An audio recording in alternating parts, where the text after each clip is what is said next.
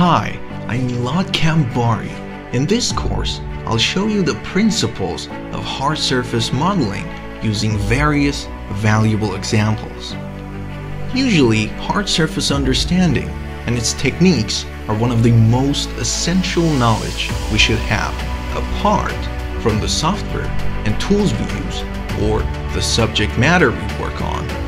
Provided that we skip without this knowledge, we might actually seemingly finish modeling, but as soon as we enter the later phases of UV unwrapping or applying material, all the holes and artifacts and problems will suddenly appear on the spot and it will be wrong.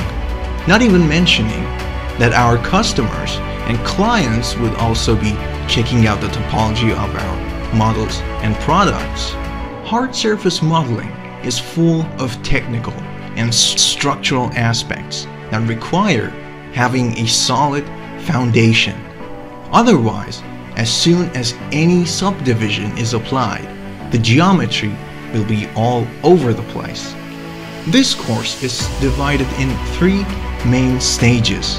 The first in which we will look into the basic concepts such as subdivision and go through many simple demonstrations.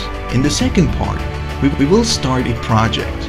We will use the tips and techniques we learned in the first part, combine them with new methods, and model a portable charger. And in the third section, we will review and gather everything and enter a more significant robotic arm project. In this concluding part, I will start to work on a pre-made base mesh and focus on the details and more advanced techniques to model different aspects of this hard surface structure. I highly demand you spend enough time in the first part, watch it multiple times, and exercise on your own examples to get the most out of the other stages and also achieve the best results. Lastly, I really hope by contributing and finishing this course, you'll be able to produce high quality models flawlessly and feel confident in hard surface modeling in general.